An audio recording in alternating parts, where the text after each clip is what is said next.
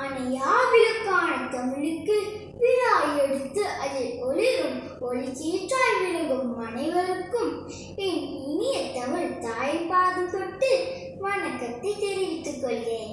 என் பெயர் பவித்திரன் நான் தேசியாவை செட்டியார் தமிழ் பள்ளியில் மூன்றாம் ஆண்டு பயிலும் மாணவன்.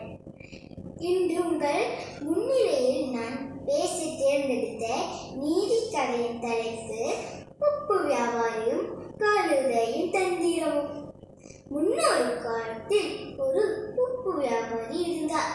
அவர் தினந்தோறும் ஒரு கழுதை மீது உப்பு முட்டைகளை ஏற்றி ஊருக்குள் போய் வியாபாரம் செய்து வருவார்.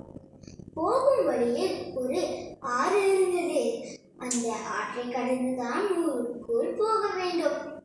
ஒரு நாள் உப்பு வியாபாரி வழக்கம் போல கழுதை முதுக்கில் உப்பு மூட்டைகளை ஏற்றிக்கொண்டு வியாபாரத்திற்கு கிளம்பி சென்றார். வழியில் உள்ள ஆற்றை கழுதை கடந்தபோது எதிர்பாராமல் கழுதையின் கால்கள் வழுக்கிவிட்டது எனவே கழுதை தடுமாறி ஆற்றுக்குள் விழுந்துவிட்டது கழுதை தவறி ஆற்றுக்குள் விழுந்ததால் அதன் முதுகில் இருந்த உப்பு மூட்டை நனைந்து விட்டது. கழுதையை வியாபாரி மெல்ல தூக்கினார். ஆனால் நீரில் மூழ்கியதால் உப்பு மூட்டை நனைந்ததல்லவா? அது ஒரு சில நிமிடத்தில் அப்படியே தண்ணீரில் கரைந்து பாதி மூட்டையாகி விட்டது. எனவே கழுதை முதுகில் இருந்த உப்பு மூட்டை வெறும் சாக்கு போல எடையில்லாதபடி ஆகிவிட்டது. ஆஹா என்ன ஆச்சரியம்? இப்பொழுது கழுதை ஒழுகிய சுமையே தெரியவில்லை. கழுதைக்கு மிகுந்த சந்தோஷம். ஆனால் வியாபாரிக்கு பெரிய நஷ்டம். உப்பு வியாபாரி உப்பு வியாபாரம் செய்ய வழி இல்லாமல் கழுதையை ஓட்டிக்கொண்டு வீட்டிற்கு திரும்பினார் மறுநாளும் வழக்கம் போல உப்பு வியாபாரி வியாபாரத்திற்கு கிளம்பினார் கழுதை முதுகில் இருந்த உப்பு மூட்டை கழுதைக்கு கனமாக இருந்தது. கழுதை மெல்ல நடந்து ஆற்றுப்பாலம் அருகே வந்தது. திடீரென அதற்கு முந்தைய நாய் நினைவு வந்தது. எனவே மெல்ல தடுமாறுவது போல செய்து தடுமாறி ஆற்றுக்குள் விழுந்தது. அடுத்த நிமிடம் கழுதை முதுகிலிருந்த உப்பு மூட்டை நீரில் கரைந்தது. இன்றும் கழுதை முதுகில் சுமையே இல்லாதபடி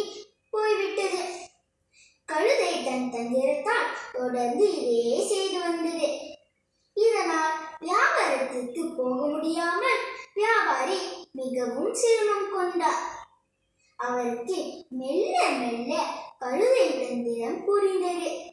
எனவே அதற்கு ஒரு நல்ல பாடம் கற்பிக்க நினைத்தார். அன்று கழுதை முதுகில் வழக்கம் போல உப்பு மூட்டையை ஏற்றவில்லை வியாபாரி. மாறாக பஞ்சில் இருந்த ஒரு சாக்கு மூட்டையை ஏற்றினார். கழுதை வழக்கம் போல ஆற்றுப்பாலத்தின் அருகே வந்தது. கால் தடுமாறுவது போல தடுமாறி ஆற்றுக்குள் விழுந்தது. மூட்டையில் இருந்த பஞ்சி நீரில் நனைந்தது. அட கஷ்டமே! கழுதை முதுகில் இருந்த மூட்டை முன்பை விட அதிகமாக கனத்தது. கழுதை கஷ்டப்பட்டு கடந்து கரைக்கு வந்து சேர்ந்தது. தனது ஏமாற்று வேலையினால் தன்னை காப்பாற்றி வந்த வியாபாரிக்கு தெரிந்துவிட்டதை எண்ணி வெட்கம் பட்டது. இனி நேர்மையாக நடக்க முடிவெடுத்தது. நாமும் நம்மை நம்பியவரையும் நம்மை நம்பாதவரையும் எப்போதும் எக்காலமும் ஏமாற்றக்கூடாது.